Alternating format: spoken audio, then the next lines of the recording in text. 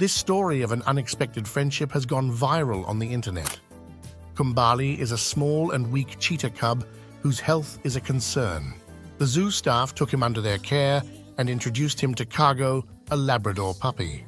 Cargo was rescued from a shelter and is known to help cheetahs become more confident. The first meeting between Kumbali and Cargo was cautious, but they soon became friends.